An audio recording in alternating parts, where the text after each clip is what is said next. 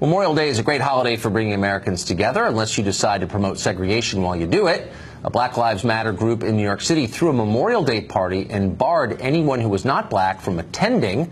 This is what they said. Being intentional about being around black people is an act of resistance. This is an exclusively black space, so if you do not identify as black and want to come because you love black, pe black people, please respect the space and do not come.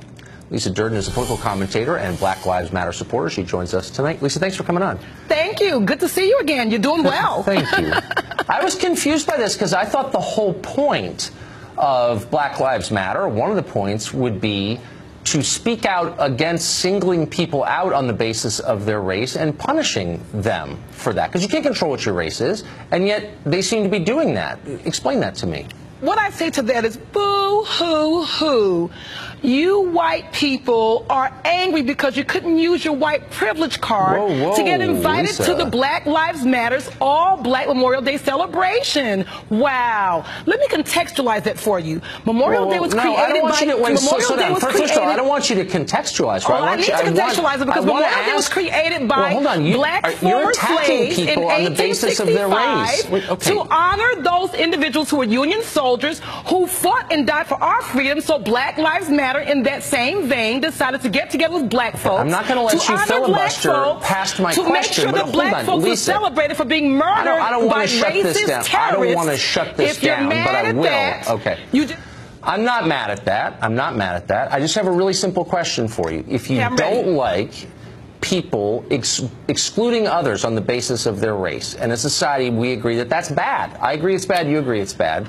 Then why are you doing it? And why are you defending listen, it now? White folks crack me up all of a sudden when we It's not a want to have question, one day for black folks to focus on ourselves. But you've been having White Day forever. You don't say the words anymore because you know it's politically incorrect. But you've had an all-white Oscars, all these movies with all-white uh, Well, if you don't actors, like movie it, after movie after movie, all-white TV shows with, with white cast over and over and over again. The Bachelorette, it took 11 seasons can't- of a black Bachelorette. Are you serious? It's, it's hard to believe. I hope you're not speaking for anyone else. I hope there aren't a lot of people well, in this my name is Lisa who Durden. I'm agree speaking with for Lisa you. Durden. I just hope there aren't people watching who agree with you Oh, because what you're saying is so hostile and separatist and crazy. It's such a basic violation of what I thought we all agreed on, which is you don't attack people for things they can't control, namely it's not attack. their race. It's not an attack. I'm stating the facts. I People asked give you- weddings where Okay. they exclude children. It doesn't mean they don't like children. They don't know if your kids are going to be monsters and those kids are going to be well behaved. No, so in no. that same vein, We're Black all- Lives Matter decided to have one day where they didn't want white folks who were going to be off the rails. They don't know if you're going to be the ones behaved and for them or the ones who are there against them. So Do they you, picked let me, one let me just day ask, to let me do the ask you a, let me just ask you a quick question. Go right Do ahead. you think it's racist to exclude people on the basis of their skin color? I think it's racist when you've been excluding people for hundreds Why hundreds don't you and answer my hundreds and hundreds question of and years. stop with your silly we're lectures? I'm asking you a and very we're simple forced question. to come together collectively to celebrate ourselves because you guys won't.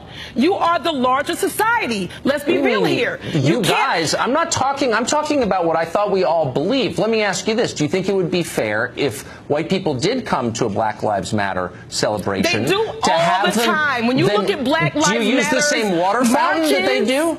And you see Black Lives Matter coming together collectively for different uh, issues. You see people of all races. So we do accept them. This particular day, they said, "Stay your asses out. We want to celebrate today.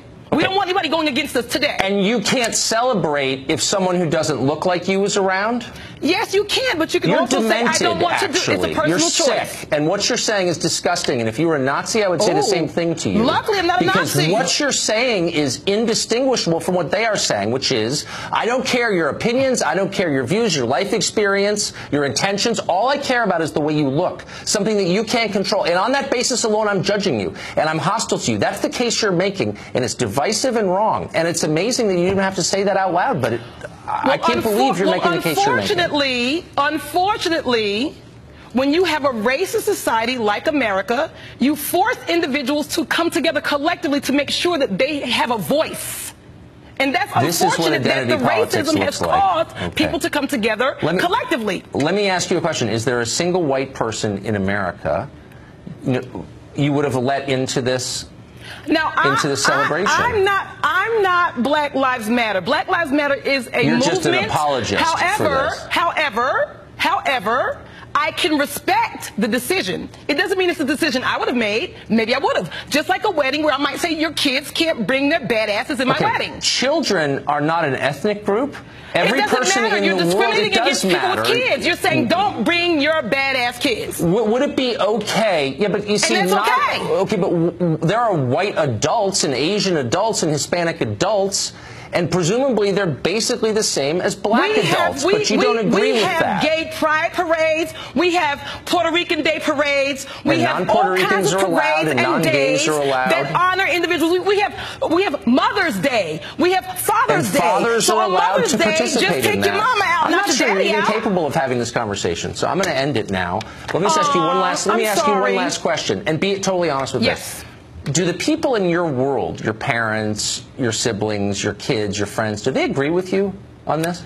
My family respects my right to free speech. No, don't give me that they dumb don't answer. I mean, do they agree, with what you just said? do though? do agree you know with a lot of people thing. who I have agree the with right what to you just free said? speech. Whatever. No one's contesting I'll it. see Stop. you next stop, time stop, on your stop with show. that. You'll be do you inviting know me a lot again. of people who agree with oh, you? Like, Tucker, I'm going to see you again in less than a month.